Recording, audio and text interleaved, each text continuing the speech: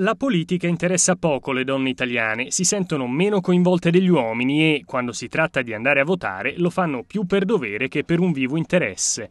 Lo rileva una ricerca effettuata dall'Istituto Ipsos di Nando Pagnoncelli a 70 anni dal primo voto a suffragio universale, il 10 marzo del 1946.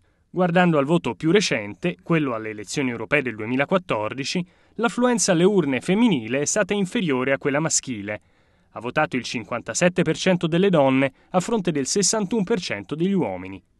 E dalle analisi svolte sulle intenzioni di voto raccolte nel 2014 e nel 2015 emerge una propensione delle donne al voto inferiore. Si dichiara intenzionato ad andare a votare alle prossime elezioni politiche il 71% delle donne contro il 75% degli uomini e il loro interesse per la politica è più limitato, si dice interessato il 50% delle italiane contro il 59% degli italiani. Al nord va meglio che al sud. In Emilia-Romagna, Lombardia, Piemonte e Veneto c'è un'affluenza superiore alla media italiana e una differenza minima in termini di partecipazione maschile e femminile. Mentre in Sicilia, Puglia, Basilicata, Campania e Calabria l'affluenza è più bassa e le differenze di genere particolarmente marcate.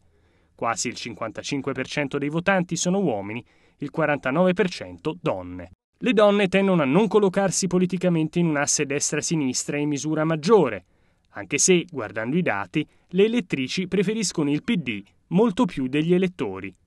A prevalenza maschile è invece l'elettorato del secondo partito in Italia, il Movimento 5 Stelle, ma nelle fasce di popolazione più giovani e in quelle più istruite le differenze tra uomini e donne si annullano e in alcuni casi, come quello emblematico dei giovani che vivono soli, si ribaltano, con le donne single e giovani più vicine alla politica rispetto agli uomini single loro coetanei.